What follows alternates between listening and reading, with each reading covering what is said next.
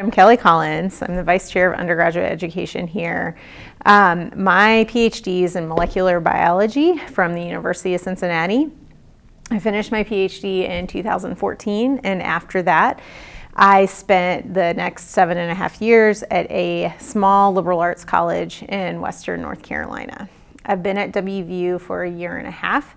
And the main reason that I came to WVU is because I had the opportunity to teach in a very small, intimate undergraduate program, the immunology and medical microbiology degree, but also have the resources that come along with a large R1 institution. I think one of our biggest strengths is that we have really, really talented faculty that are all very invested in the undergraduate success. We have very small class sizes, and um, students get to know our faculty in year one, which again is like the type of education that you get at a small liberal arts college.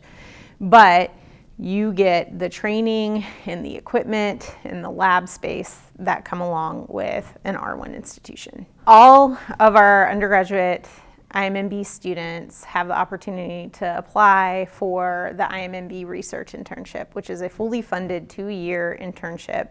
Um, students get paid for the duration of that. They work full-time in the summer months. Um, and then they continue they are able to continue working in the lab during their um, junior and senior years.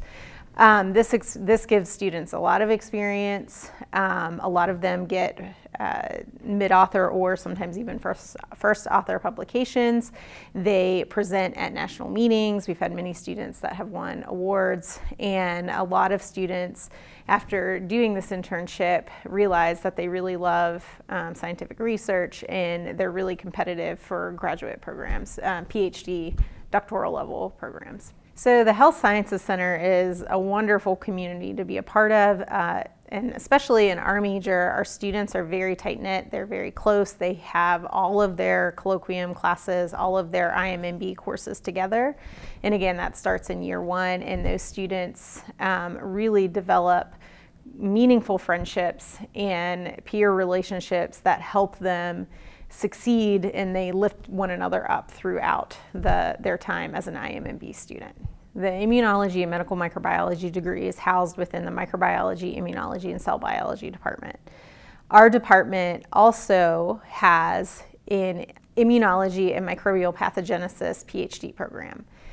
So not only do our undergraduates have a really tight-knit community among one another, but they also get to interact with graduate students on a regular basis and postdocs on a regular basis, uh, as well as the, the faculty mentors leading the lab. And our students are exposed to several different areas of research, including neuroinflammation, um, vaccine development, immunotherapy development, um, and cancer immunology.